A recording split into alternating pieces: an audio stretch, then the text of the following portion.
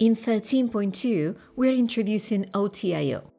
In combination with the previous work done in metadata management, we expect OTIO to be the future of editorial workflows when manipulating editorial data. OTIO is a format for editorial cut information, similar to an EDL, but it also includes an API for reading, writing, and manipulating editorial data. We see OTIO as the modern way to move your editorial data throughout the pipeline, either to carry the editorial cuts as they evolve, or to create playlists to review your shots throughout your shows.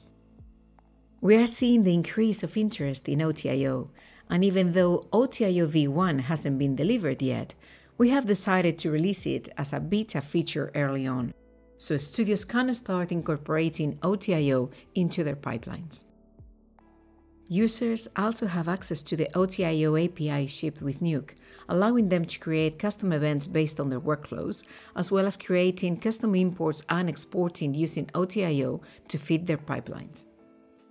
We will continue the work with the OTIO team for future releases and continue implementing OTIO into our softwares.